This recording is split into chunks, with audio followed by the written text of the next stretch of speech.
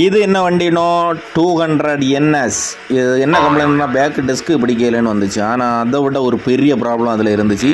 டிஸ்கில் வர அந்த பின்னு வரும். நம்ம டிஸ்க்கு பேடு போடுற ஒரு பின்னு அந்த பின் என்ன ஆயிடுச்சுன்னா அதில் ஒரு லாக் வரும். அந்த லாக்கு கலந்து போய் அந்த பின்னு இந்த அலையில் இடிச்சு இடிச்சே ஓடிடுது பார்த்தீங்களா இந்த இடத்துல இடிச்சு இடிச்சு ஓடிடுது. அது இப்போ மட்டும் இந்த டிஸ்க்கு பேடு மாற்றுக்கு வரல.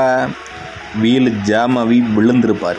இதில் தான் அந்த லாக் வரும். அந்த லாக் இல்லாதனால இந்த பின்னு உருவி அலாயில் ஃபுல் இடத்துலையும் தட்டி தட்டி ஓடிடுது. டிஸ்க்கு பேடும் போயிடுச்சு. டிஸ்க்கு பேடு முந்நூற்றம்பது நானூறுரூவா வரும். பஜாஜிக்கு வர இதை போட்டாலும் செட் ஆகும் இதுக்கு.